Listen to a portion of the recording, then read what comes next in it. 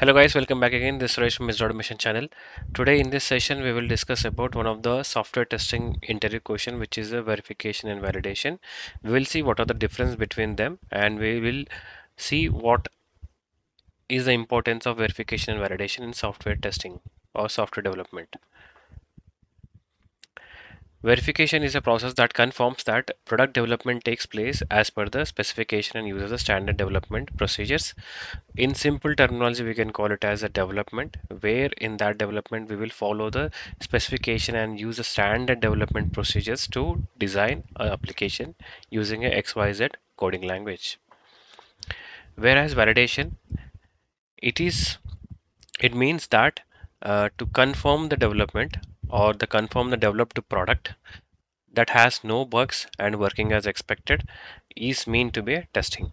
So here in the verification you develop something and in the validation you test that developed code or developed product.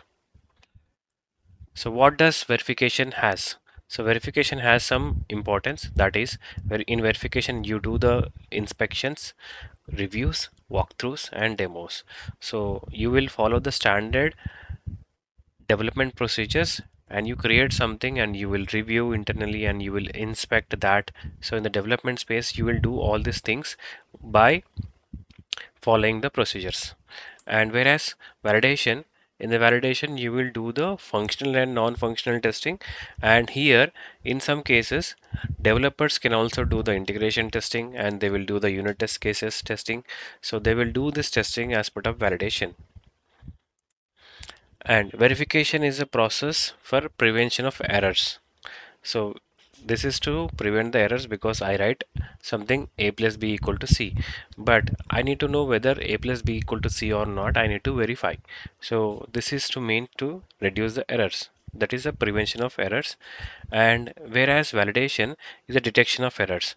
So if I say 1 plus 2 is equal to 3 if it is 3 is not coming with using the logic of a plus b equal to c then in the validation I need to detect that okay it is giving a 1 plus 2 is equal to 3 or it is giving a 4 so I need to detect that whether it is working or not.